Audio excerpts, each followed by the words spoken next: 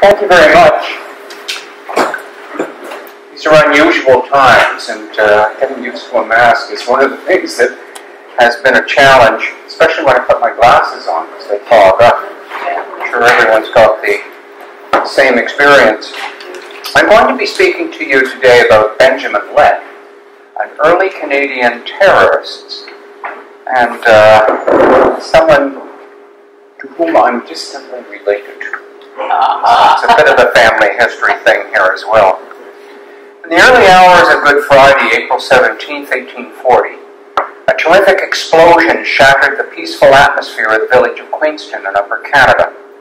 Brock's monument, burial place of General Sir Isaac Brock, the much revered hero of the War of 1812, was in ruins.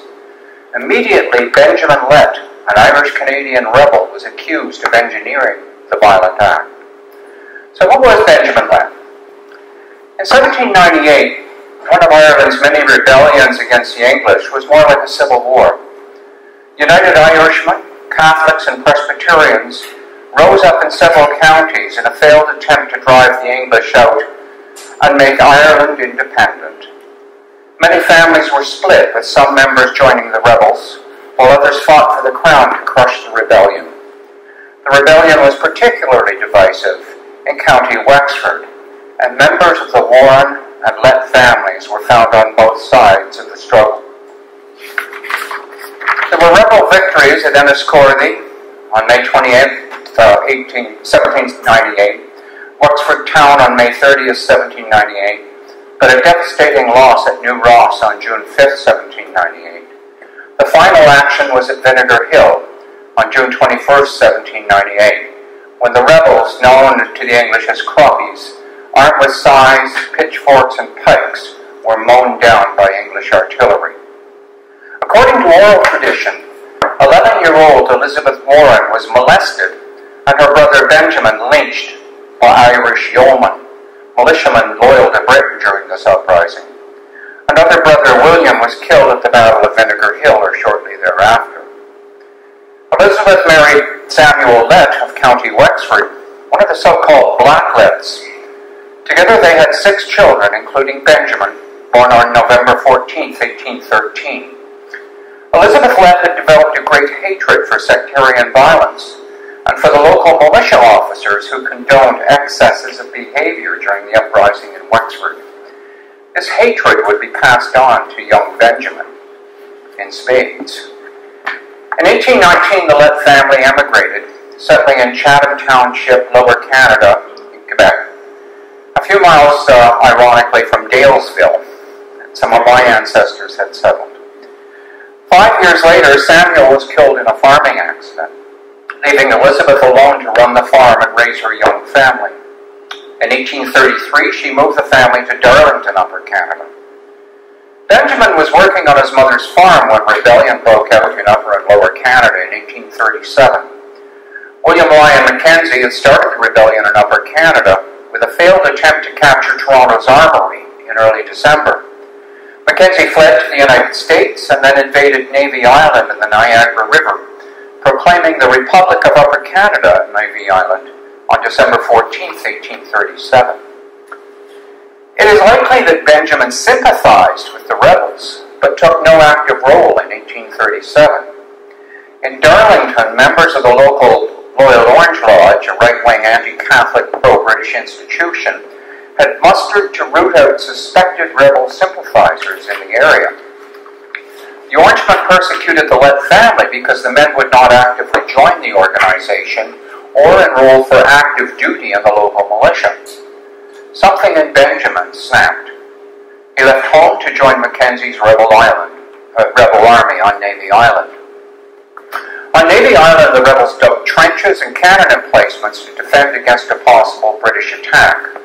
Supplies and reinforcements came from Buffalo, New York, ferried to Navy Island by the steamer Caroline. On December 29th, a small Canadian force under the command of Royal Navy Captain Andrew Drew captured the Caroline at Buffalo set it on fire, and cut it loose to plunge over Niagara Falls. A week later, militia artillery began a 10 day bombardment of Navy Island, finally forcing the rebels to retreat. Lett was wounded, but not severely, during the bombardment. Rebel forces invaded elsewhere and were defeated at the battles of Fighting Island and Pelee Island near Windsor in February and March 1838. Lett was involved in both actions and must have shared the frustration of continuing failure of armed military style actions. This frustration led Lett to undertake a series of individual acts of terrorism.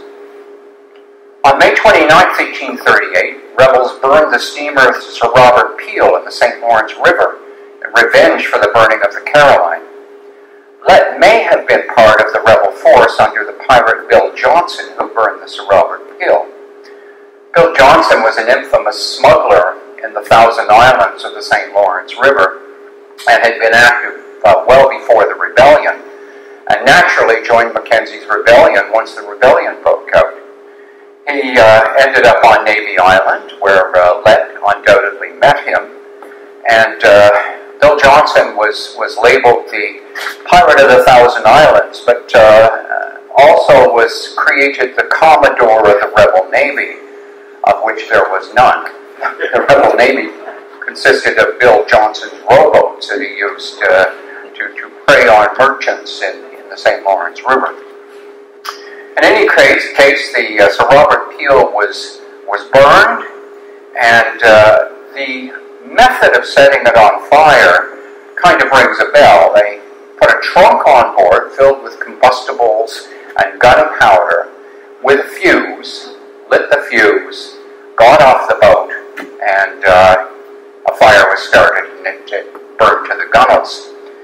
Um, the type of fuse that was used was uh, sort of the 19th century version of a, of a time bomb.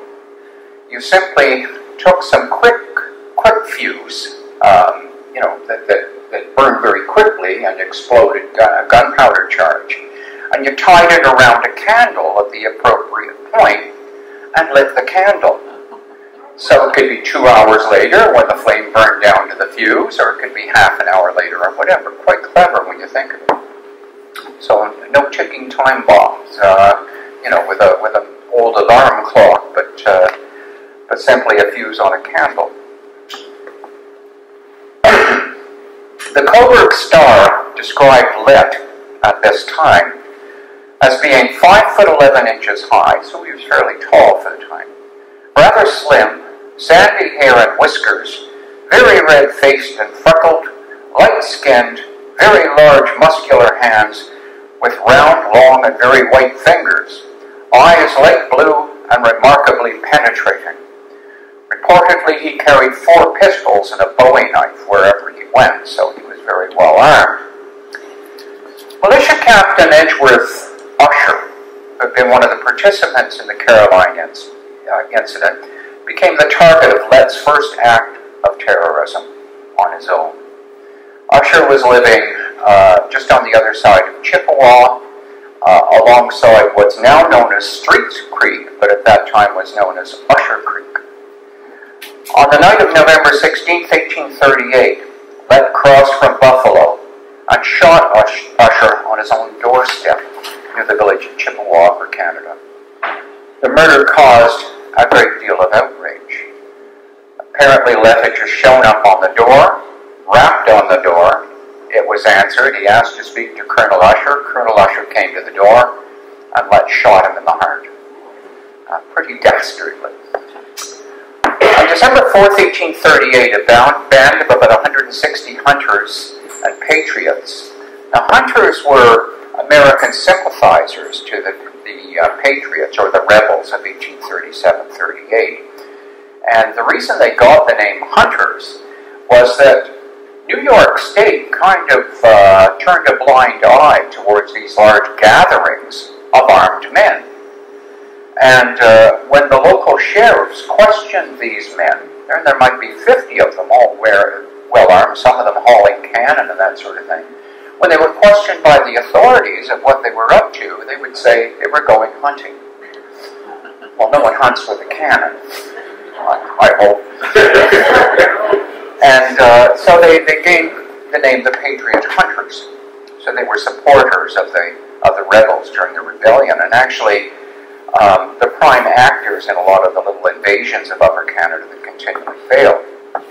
On December 4th, 1838, a band of about 160 hunters and patriots crossed from the Detroit before dawn, occupying the village of Sandwich, now part of Windsor. Local militia mustered, and the rebels were finally defeated. Local militia captain John Prince summarily executed five of the captured prisoners who had been taken by the militia. This incident enraged Lett, who stepped up his reign of terror. Lett was suspected of plotting to destroy the British Lake Ontario fleet in Kingston Harbour. In January 1839, when the fleet would have been frozen into the ice of the St. Lawrence River, the idea was the ships were all docked basically very close together, but entombed in ice in the St. Lawrence, and all you needed to do was set one ship afire uh, upwind of the rest, and would presumably burn the whole fleet. Well, it was unsuccessful. Uh, and we're not entirely sure that Benjamin Lett was involved in it or not. More on that uh, a little bit later.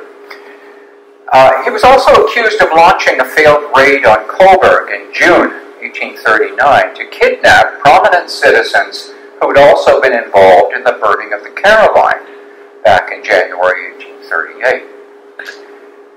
Lett seems to have lain low for a year, that there are no actions or, or acts of terrorism that I can find attributed to him from the time he was accused of uh, the raid on Cobourg in June through to uh, the, the, following year.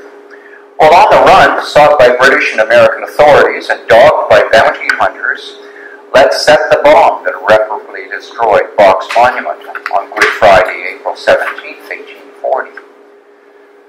Although Brock was uh, considered a saint by the loyalists of Upper Canada, Lett viewed this monument as a symbol of the Tory militia and of British rule. It made an ideal target for vengeance. He had been brought up by his mother, Elizabeth Warren Lett, to absolutely despise the English and to absolutely despise these uh, militia officers uh, who Lett undoubtedly saw as the same as the yeomanry of Ireland who had devastated Elizabeth's uh, family when she was a young girl. It would take 13 years before work could begin on a new monument to replace that destroyed by Lett. Lieutenant Governor Sir George Arthur offered a 500 pound reward equivalent of roughly $120,000 of uh, Canadian money today, for the apprehension of Lett, who had gained notoriety by this time as the Rob Roy of Upper Canada, always prowling about our frontier, devising and committing all manner of mischief. Many outrages in Upper Canada were blamed on Lett, including, I understand, thanks to Elizabeth, um, an attempt to burn Willowbank I had never heard of this before. And uh, actually, I think it rather unlikely. I can't think of any reason why Benjamin Lett would want to burn Willowbank. But um, we'll have to look into that a little bit more. On June 5th, 1840, Lett was in Oswego, New York, and was arrested for the attempted destruction of the Canadian steamer Great Britain after an incendiary bomb was set off prematurely aboard that vessel. It was the same type of bomb, a steamer trunk filled with combustibles and gunpowder and so on. But it didn't quite fit uh, Lett's uh, MO. He, he, he normally struck at night. It was unusual for him to strike in, in daytime. This was a trunk that was placed outside the ladies' cabin on, cab, uh, cabin on the SS Great Britain. Uh, Lett's MO as well involved getting all the passengers off the ship before setting it on fire. So he may or may not have been involved in that incident. But one of uh, the conspirators turned state evidence and uh, put the thumb on, on Benjamin Lett. So he was uh, arrested and tried and sentenced on June 25th to seven years hard labor in the state prison in Auburn, New York. Ironically, Lett was tried and sentenced for the one act of terrorism concerning which he was quite possibly innocent. En route to Auburn, Lett leaped from the train, though shackled, and evaded recapture by hiding in a swamp. He remained at large for the next 15 months. At 11 p.m. on September 9, 1841, the peace of the little village of Allanburg was shattered by two explosions. Gunpowder charges had been set off at the upper two locks of the Welland Canal at Allanburg. One lock gate was totally destroyed, but was quickly replaced by a spare gate stored nearby. The canal was fully operational the following day, so not a very effective uh, feat of terrorism, I suppose. This outrage was blamed on Benjamin Lett, and an additional bounty of £100 placed on his head. If Lett was the perpetrator, it would be his last act of terrorism.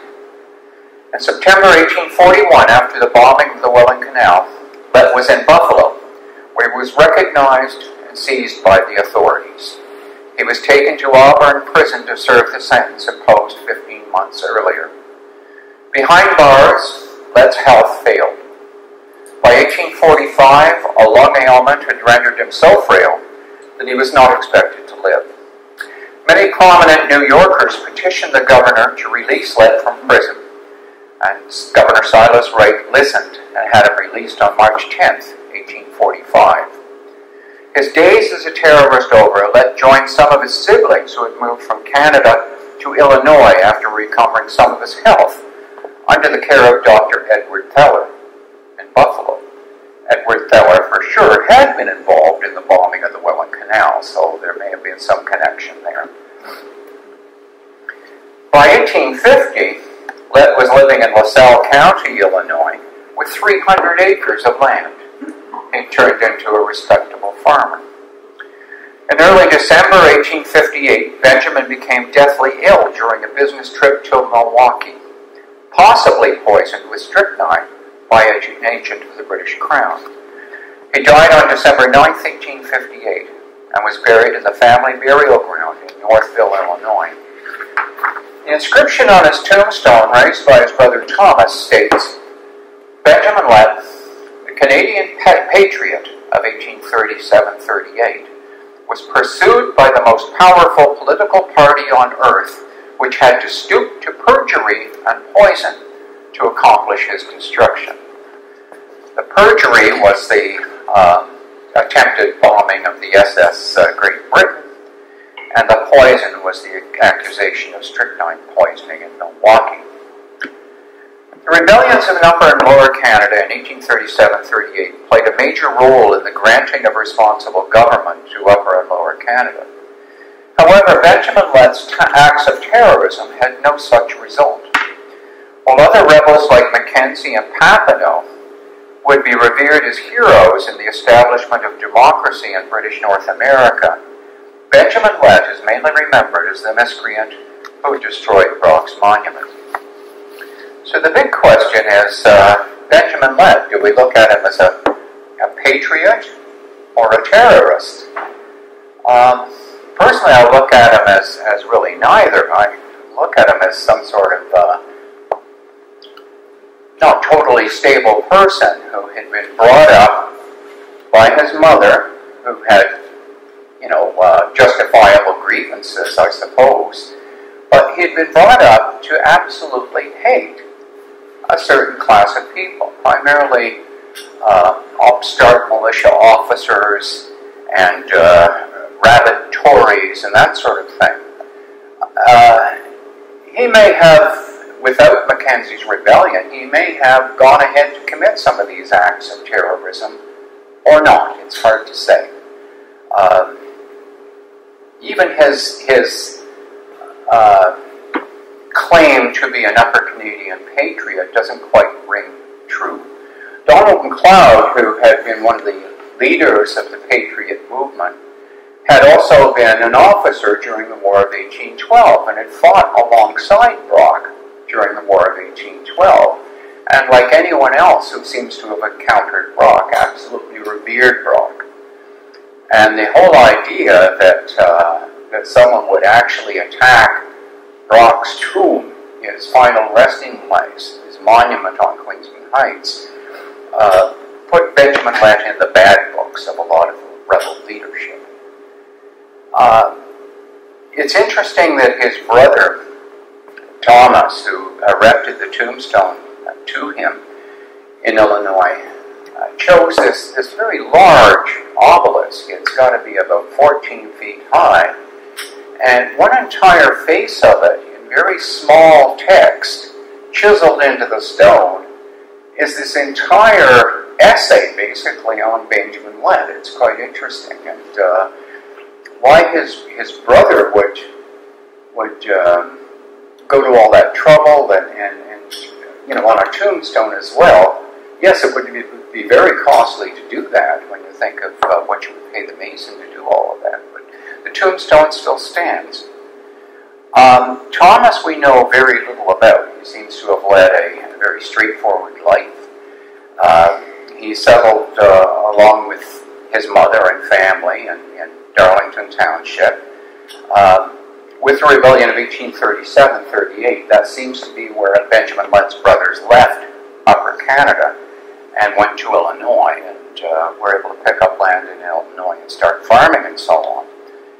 Thomas doesn't enter into the picture at all in any of my research other than paying for and commissioning this tombstone to his brother Benjamin.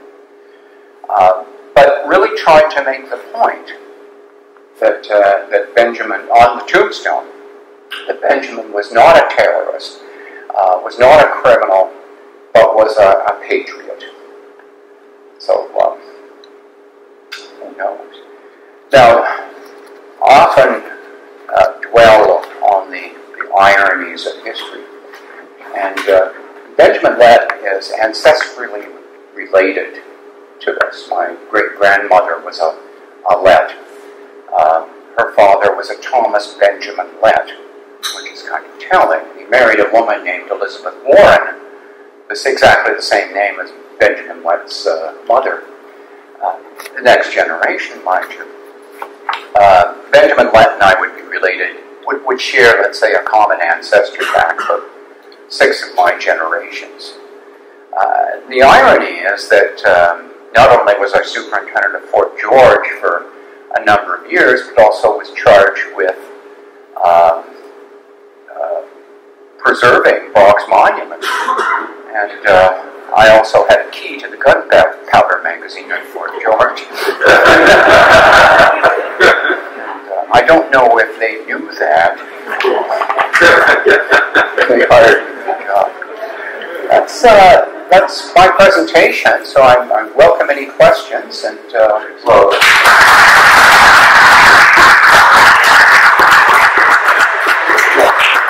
Yes, um, about this uh, firing of uh, Willowbank. Uh, for all I do know for sure is most of my information comes from either you or Joy Ormsby. Wouldn't be me. Huh? It wasn't me. So no. Joy. Yeah is that um, he had taken out insurance the year before. And so that covered the repairs. They doused the fire. He was an arsonist. And, and so, mind you, um, Alexander was an official of the government. So in that respect, he might have any, any uh, rebel, shall we say. And, and so I don't know whether it's been proven or not, it would have to be before uh, February of 1839, because that's when Alexander died. So well, it's the right time period, but as I was saying, I, as I was saying, Benjamin Lett got blamed for for a lot of stuff, yeah. All kinds of outrages. Uh, my guess is that Alexander burned it himself for the insurance money and blamed Benjamin Lett. Any, anyway, I mean, surely the, the uh, cold-blooded murder of anybody would be he's guilty of first-degree murder. Oh, oh, yes, I suppose so. But uh, yeah. but Usher was uh, a loud, boisterous man who would uh, no doubt get up the nose of anyone who was predisposed to dislike militiamen, and um, had piloted the, the boat that Captain Drew was on when they cut out the Caroline. The Caroline, uh, contrary to period illustrations of it, did not go over the falls with its, uh, you know, steam up and uh, things coming out of its funnels and all that sort of thing. It broke up into the rapids before it reached the falls. But there was nobody on it. Quite as spectacular. Nobody on it. Um, although the claim of the rebels were that there, there were a couple of men on it who had been killed going over. And, This was an exaggeration to counter another jet uh, it may exaggeration. or not be. You know, Yeah. who knows? Where would uh, both Benjamin and William Lloyd Mackenzie King get the money once they've gone to that Navy uh, island? Where do they get the money to buy supplies and guns and food and all the rest of it? So, so these got a lot, of, you know, thick bank account of their own. Go find me. Gee, they had cell phones back then. I, it, it's a very good question, and I suspect that, that there were people that did donate money to the cause. And um, there were a lot of things that, like with the Patriot Hunters, for example, um, they knocked over some armories in the States. But in a number of cases, the caretakers of the armories seem to have looked the other way. You know, while firearms and ammunition and so on were stolen. Um, you know, that sympathetic people could feed them, that sort of thing. But I also think that they raised money through through donations uh, to support the cause. I mean, we're only a generation removed from the War of 1812, and particularly along the borders uh, in New York State and that sort of thing, Buffalo in particular. There were a lot of people that still held a real grudge against the British because of the War of 1812. It's only a because of the generation. And subsequently because of the famine Yes. in Ireland. Well, it's it's a little later. It That's comes in 1847 for 48, the, the major famine. So, um, you know, that's a little bit later, and, and that kind of gives rise to the Fenian risings in the 1860s and so on. Was, was Lett a Protestant? Was he a Protestant? Lett? Oh, yeah, it was, uh, they were Presbyterians. Yeah. Yeah. So it was only later in the 19th century, after the, the religious revival in both the Roman Catholic Church and the, the Protestant churches, that the division occurred in Ireland. Uh, in Northern Ireland is is an independent state now, semi-independent state, uh, on account of its Protestant majority and its refusal to be part of an Irish Free State uh, as a result of the Home Rule Bill in 18, 1914. That's why I asked the question, was he a Protestant or, or a Catholic? And I can Well, only now, remember now, in Ireland at the time, um, there weren't Protestants. oh, just aware. No, no, no. No, Church of Ireland. The, the Protestant, the Catholic, the Jew, and Presbyterian. That, that Protestants were Church of Ireland. Yeah. The Southern Presbyterians. No, well, they, they weren't called Protestants. Well, with all due respect, I know a little bit more about it from my family history. My, my grandfather having been dean of St. Patrick's Cathedral. You didn't know that. You didn't know. Well, Kerry, any other questions? I should have interrupted there. Yeah. No, I, I'm just, the, uh, the, the li- the lion's share of the Presbyterians had come recently from Scotland. They'd been transported. Oh, to, to a large extent as well. Now, So the, the Letts themselves, although they were Presbyterians, uh, were actually all descended from uh, an officer in Cromwell's uh, army. It came from England. The Letts were from England originally. Um, there's another intriguing Lett from that rebellion, again to whom I'm distantly related. A fellow named James Lett, who was 15 in 1798 and uh, joined the rebels. He was from County Wexford, as the Letts and the Warrens were from County Wexford. But um, at the Battle of New Ross, the rebels were formed on a hill. Rebels always like to form on a hill. And the whole idea of forming on a hill is that if the enemy is attacking you, they'll be worn up, worn out, running up the hill. Uh, it also made any musketry that you had more effective firing downhill than firing up. When you fired uphill, you tended to fire too high. And also, if you had to retreat, you would be running downhill, okay, away from these exhausted guys running uphill. It made a lot of sense.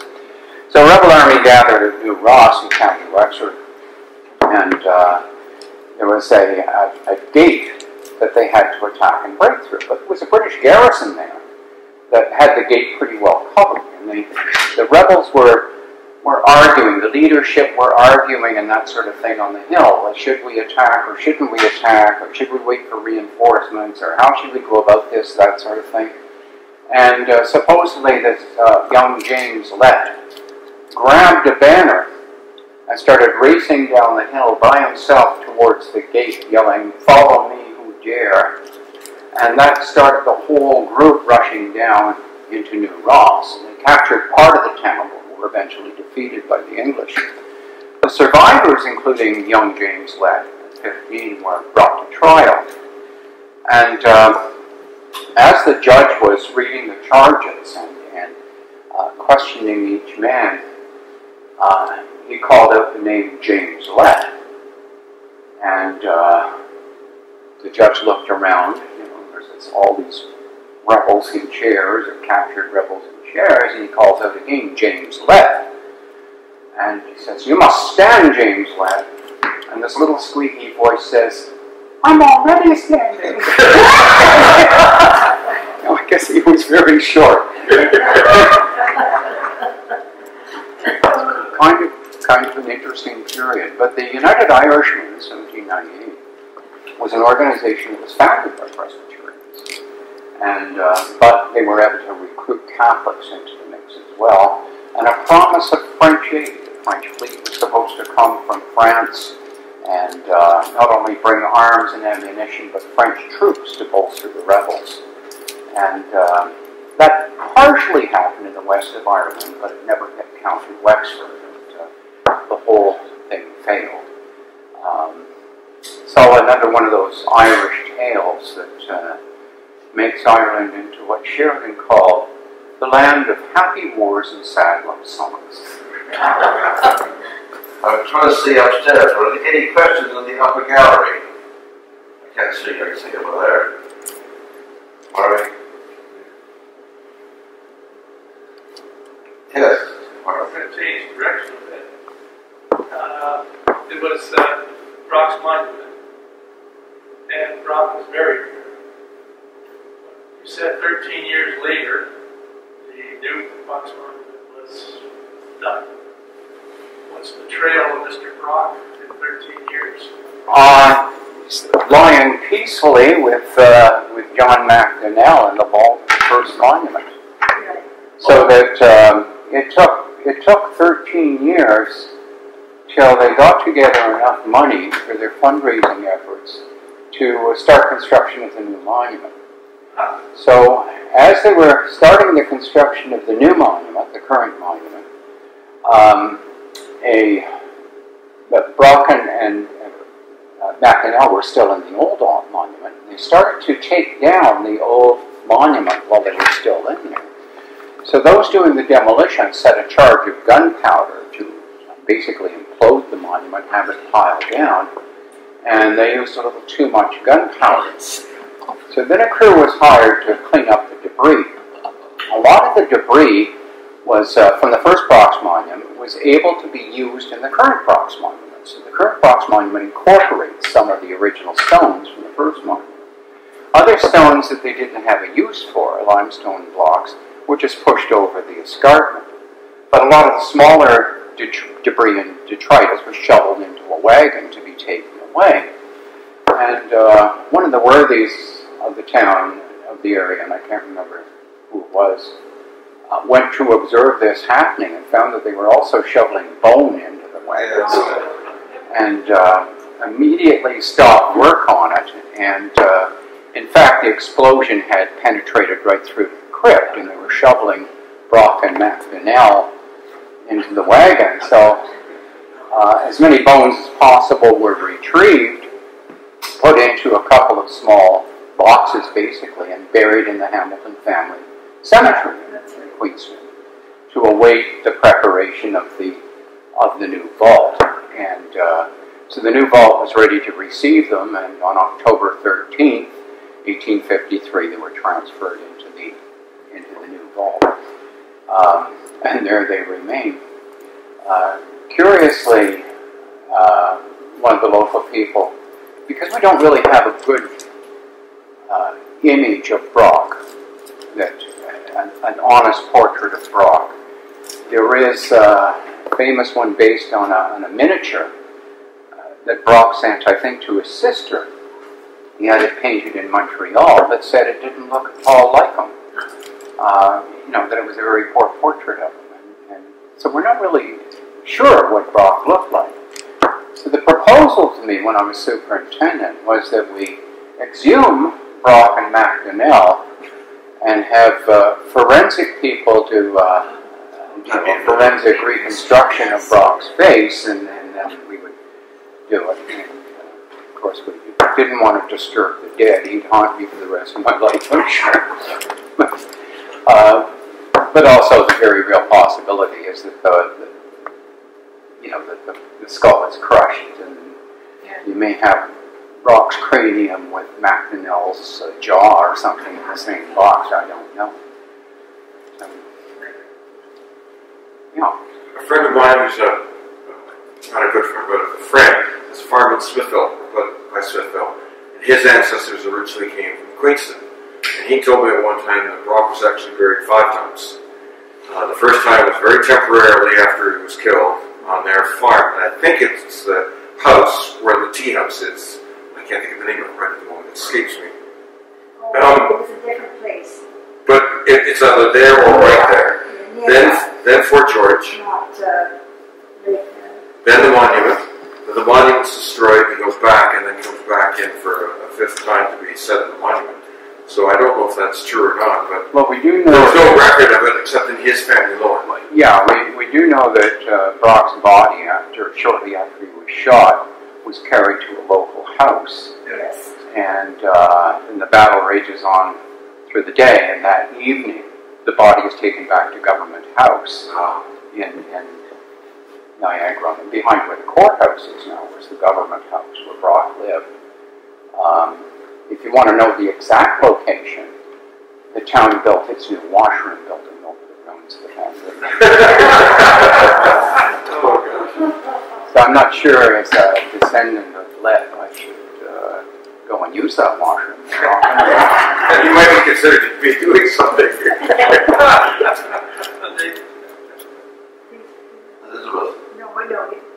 Uh, Bill. Just in listening to this, it's really hard to believe that all that took place. I mean, this, it's hard to think about living here now. It's hard to believe that all this, at least a, a fair amount of activity was happening in that period of time. It's hard, hard I find it very hard to get my mind around that, that what, what early Canada was like. Yeah, yeah, and there's a lot of stories of the rebellion that uh, are not well told. I mean, we, we hear about Mackenzie on Yonge Street and Montgomery's Tavern and that sort of thing, but there's not an awful lot that's been said about his uh, sojourn on Navy Island. I mean, they issued paper money. And uh, it was at the Bank of the Republic of Upper Canada issued paper money printed in Buffalo. Um, they weren't there that long. Mackenzie was on Navy Island for only a few weeks and, and issued all these proclamations and so on from there.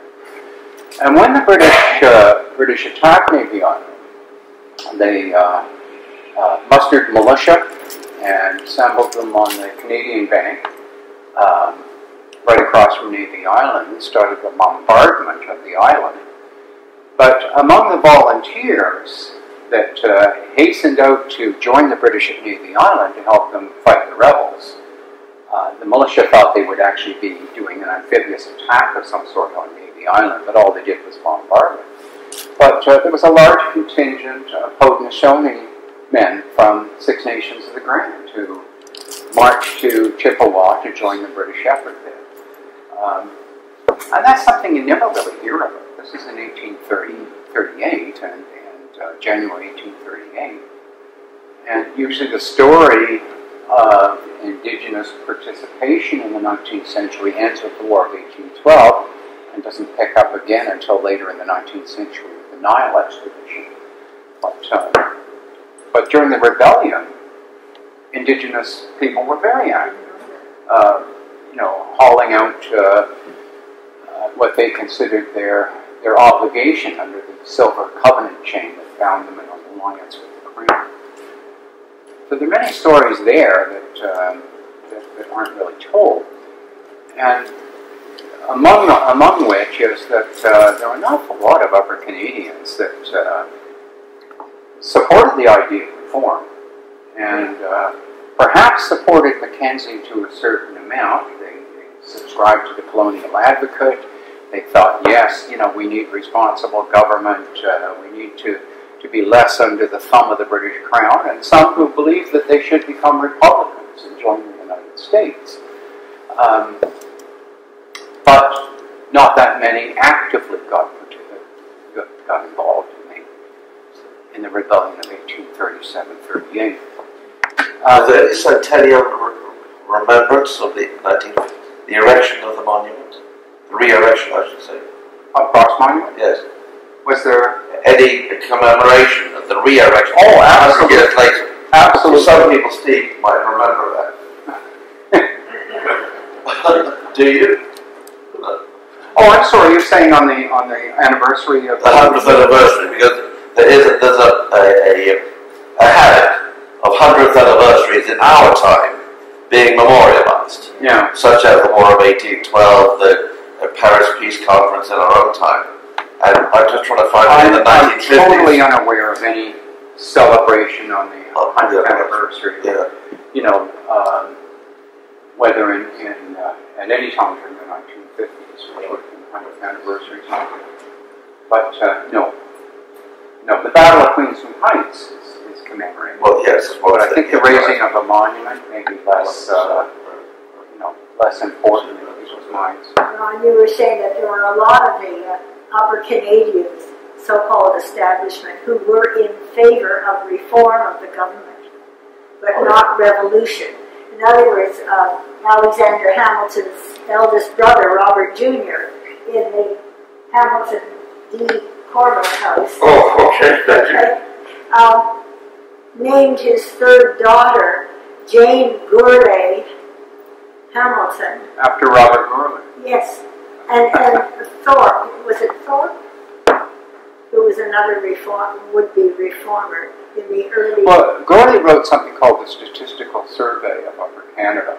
She was very critical of the of the government at the time yeah, and very pro-reform. yes, Um, yeah, but I, you know, just an example, another example of, of sort of a misconception of, of whether or not Upper Canada was ripe for rebellion.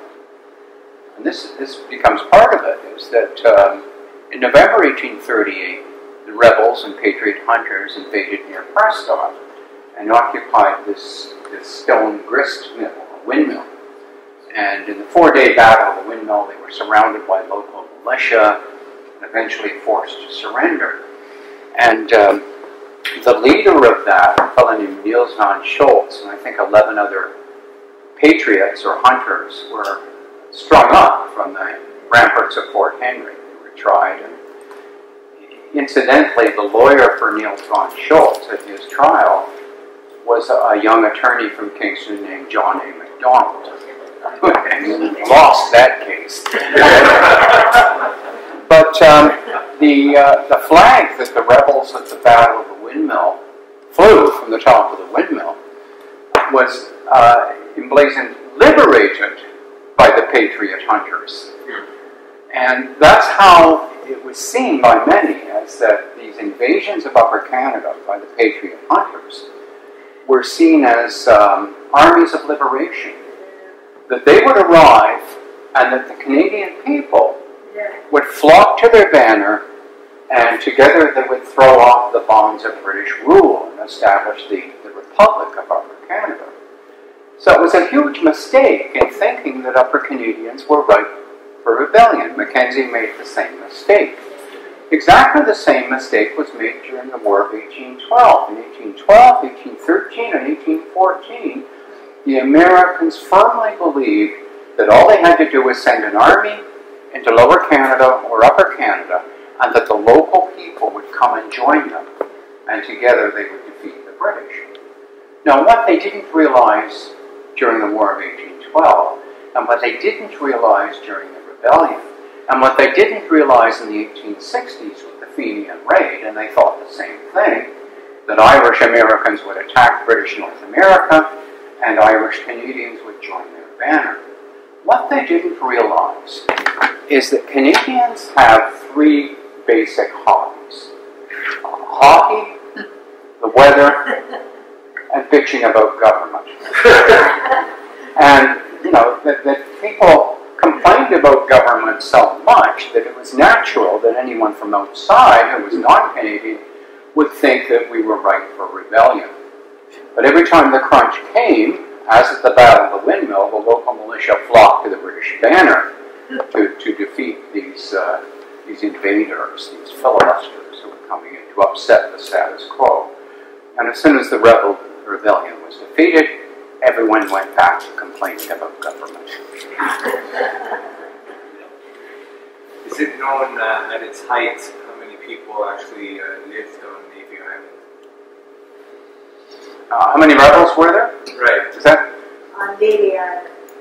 That's a good question because there were a lot of a lot of gatherings.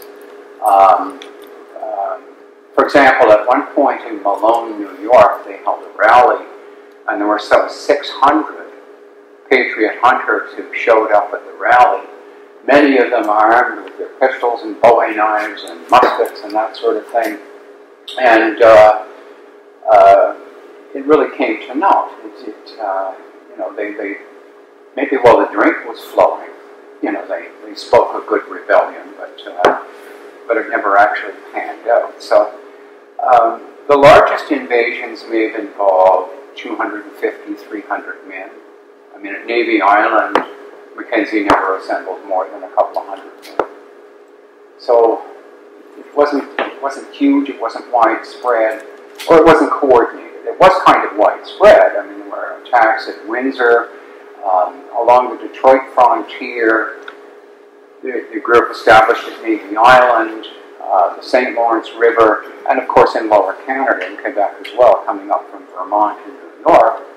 There, again, there were attacks by by Patriot hunters, but they never amounted to anything. So, so what were the British doing at this point in time in Canada that would cause people to want to rebel?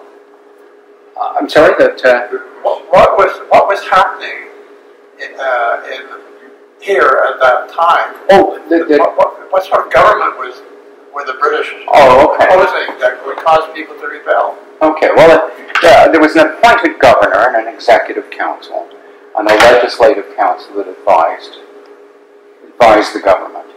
But um, there was no sort of universal suffrage.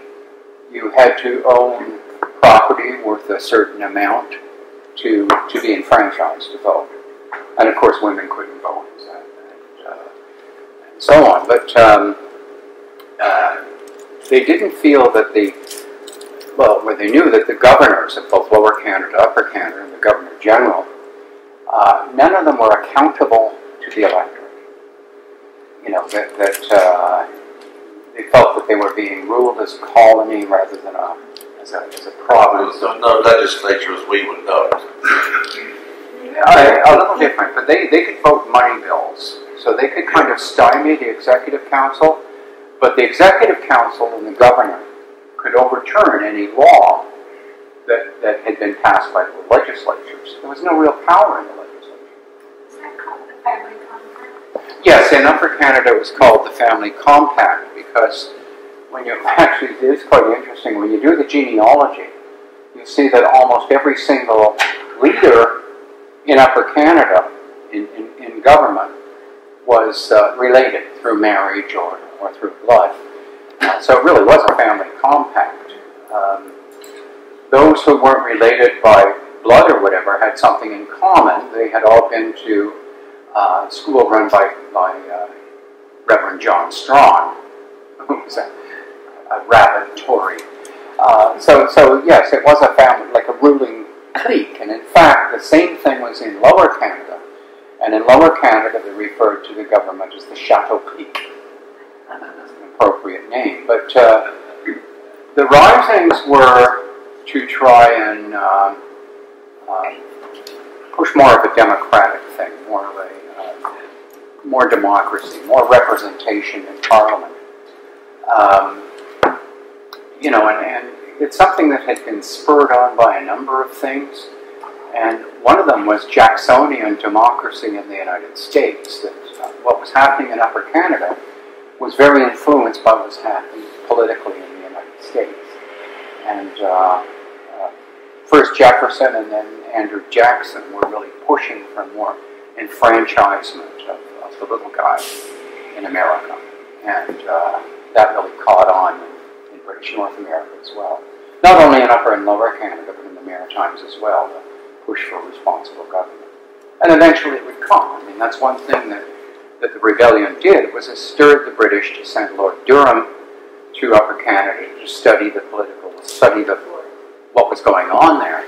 And with his recommendations, um, they established responsible government in Upper Canada. It would take a while before there was more universal enfranchisement, but, but it did come. So, uh, Room for two more questions. Rob, Yeah. You date of the bombing to get the date 38? No, it's it's, uh, it's later than that. It's um, you know, it's a funny thing with with memory. I worked so long in the War of 1812 that I can tell you the exact date, year, and often the time that something happened during the War of 1812. Um, children's birthdays, or when did we buy that fridge? completely escapes me.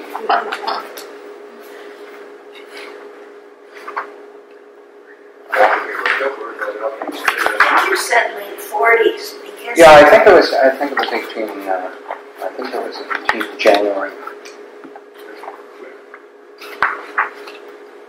Hang on. Uh, 41. September 9th, September. 1840.